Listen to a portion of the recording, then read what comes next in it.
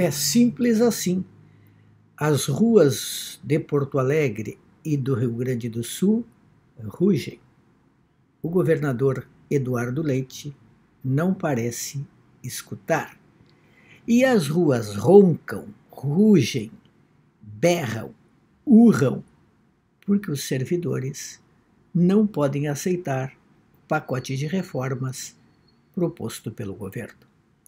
O governo diz que os funcionários vão ganhar no plano imediato. Os servidores estudaram a proposta e sabem que vão perder no médio e no longo prazo.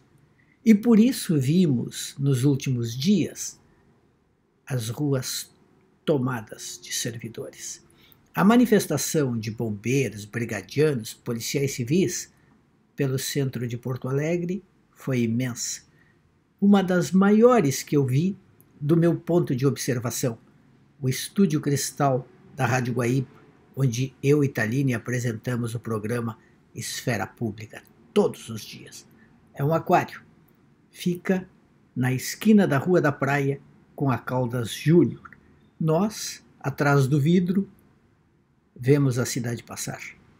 E a cidade passou enorme, gigantesca 50 minutos de gente marchando, passando, cantando, gritando, mostrando cartazes, dizendo não ao projeto do governador. Em Bento Gonçalves, na cúpula do Mercosul, o governador fez ouvidos moucos, disse que os servidores não estão entendendo e talvez até que alguns estão desinformados. Mas, quando conversamos com representantes de professores e dos servidores da segurança pública, o que nós vemos é que eles fizeram o dever de casa, estudaram no detalhe as propostas e não querem saber delas.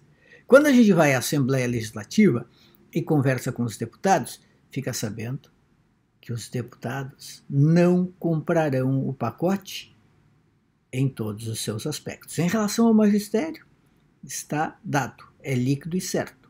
Como está, não passa.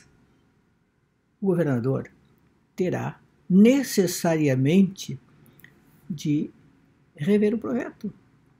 Vai precisar refazer a lição de casa. Não emplacou não terá os votos, salvo uma surpresa estonteante. Por quê? Sim, o Estado tem poucos recursos, está em dificuldades, não tem como pagar suas contas. Mas repassar a fatura para o funcionalismo, especialmente naquela ampla maioria que não ganha bem, é quase uma covardia.